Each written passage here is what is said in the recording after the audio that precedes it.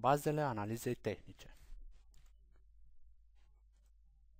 Când vorbim despre analiza tehnică, ne referim strict la analiza graficului prețului unui activ financiar. La baza analizei tehnice stau o serie de principii generale. În primul rând, analiza tehnică consideră că prețul unui activ incorporează toate informațiile disponibile, astfel încât nimeni nu poate beneficia de informații privilegiate pe care să le fructifice luând o poziție de cumpărare sau de vânzare. De cele mai multe ori, prețul evoluează în trend, astfel încât identificarea unui astfel de trend general poate să ne pună într-o poziție câștigătoare.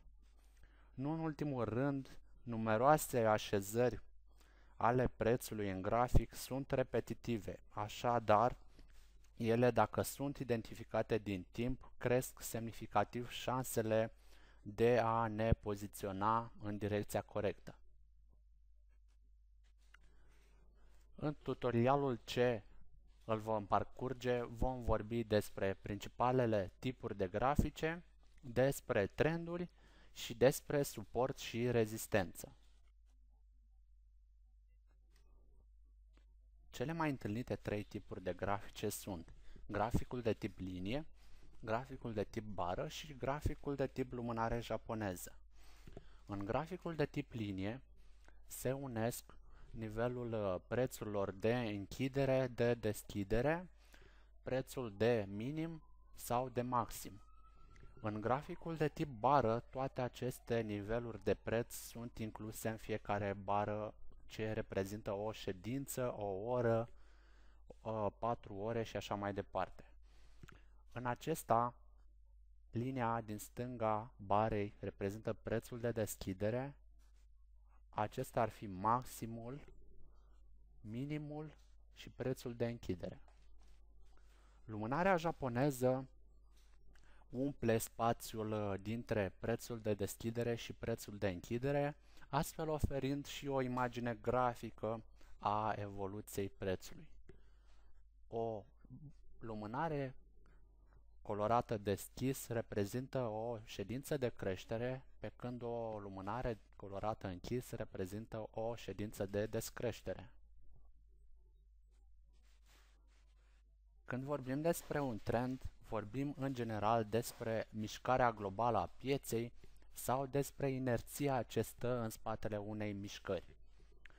În cazul trendului ascendent sau de creștere, mișcarea a pieței prezintă minime și ma maxime tot mai înalte, astfel încât prețul la un moment viitor va fi mai mare decât în prezent.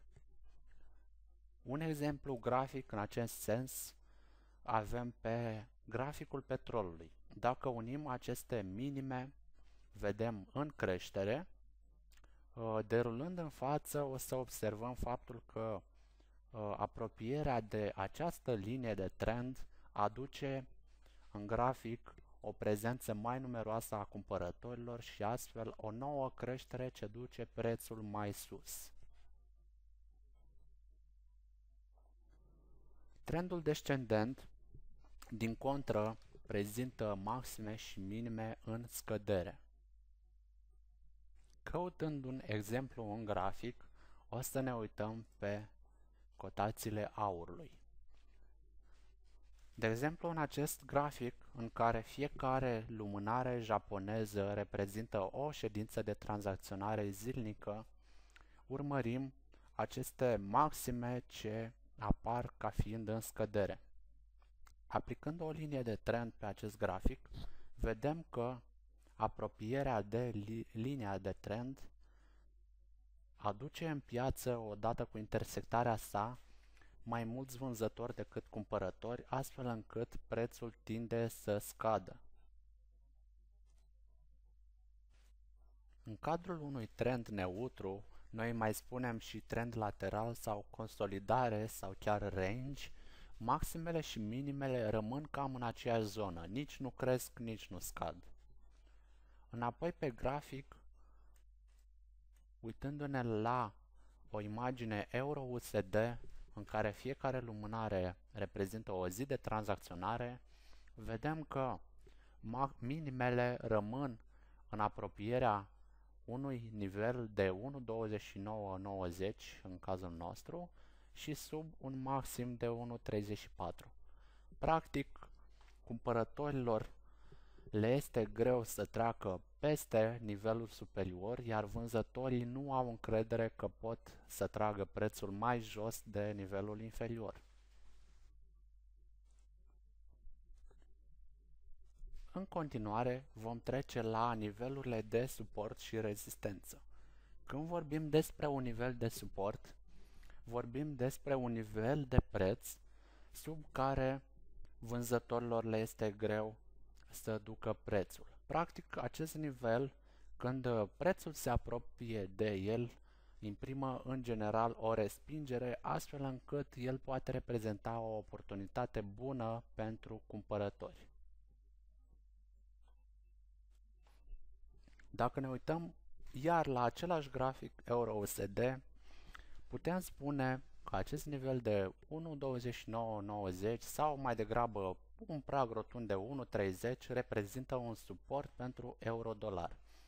De ce? Pentru că numeroasele minime și maxime mai vechi formate la acest nivel dau o relevanță suplimentară, reprezintă faptul că de aici, cel mai probabil, prețul se va respinge în sens ascendent, cumpărătorii considerându-l un nivel foarte ieftin.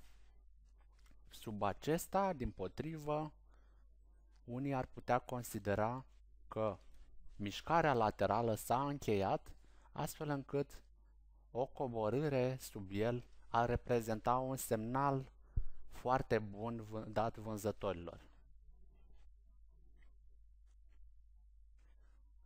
Nivelul de rezistență reprezintă un nivel de care cumpărătorii pot trece foarte greu deoarece acolo se află în general un număr foarte mare de ordine de vânzare. Cum vedem când avem un nivel de rezistență? E bine, ne uităm pe grafic și luăm ca exemplu indicele american Dow Jones și urmărim un maxim de unde prețul s-a respins. Dacă punem o linie orizontală pe acest maxim, în cazul nostru 13.400, vedem că revenirea prețului în zona acestui maxim creează o oportunitate bună pentru vânzători de a intra și astfel respingându-se prețul din nou spre partea inferioară a graficului. Vedem numeroase astfel de încercări care din nou împing prețul în jos. Însă, la un moment dat, aceste niveluri de rezistență pot da semnale contrare, în sensul că o depășire a sa dă o și mai mare încredere cumpărătorilor că o mișcare laterală sau că un trend a fost schimbat astfel încât uh, intrarea acestora în piață creează un nou trend. Vă mulțumesc foarte mult pentru atenție și o zi cât mai bună!